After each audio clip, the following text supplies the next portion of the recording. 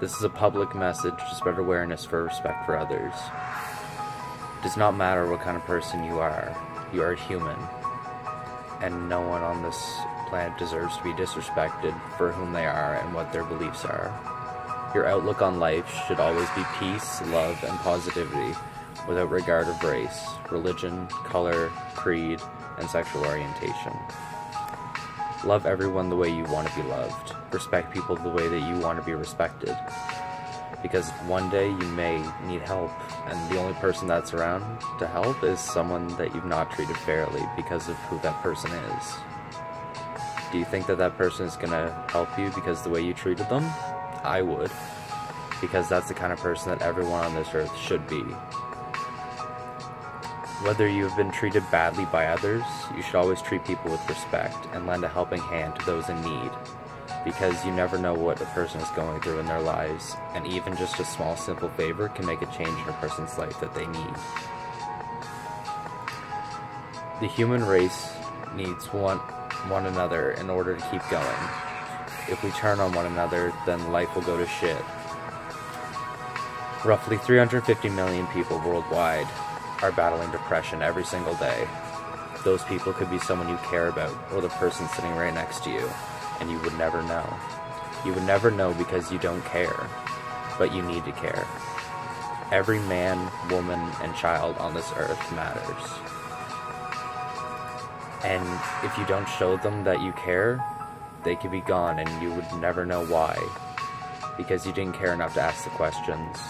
Are you alright? Do you need someone to talk to. Be there for someone, even if you don't know them. Learn their story and be there for them.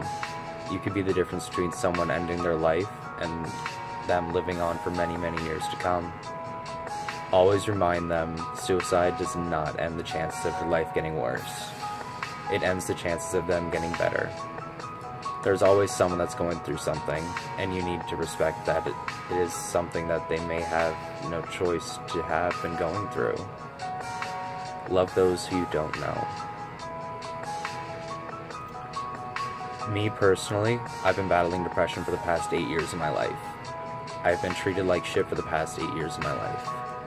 It feels like no one is there, like I am all alone most days with no one to talk to or no one to give one fuck about my existence most days I don't even know who I can talk to about the stuff that's going on in my life because no one really sticks around long enough in my life to care. It hurts a lot to be used, cheated on numerous times, to feel like someone actually gives a fuck about you, and then a couple days later, it's like I died because they don't even notice me anymore. Words can have a bigger impact on someone than you think. The words you use can drive someone into a deeper and deeper sadness that can take them years to recover from. A human being should not be judged for who they are. You should all embrace the differences in people. The point of all this is to show that you should have respect for each other and not put anybody down for being themselves. Spread this message if you choose to do so, and replace my story with your own to show your differences and views on all this. This is a challenge that's been going on since 2014, so when you post, use the hashtag respect challenge.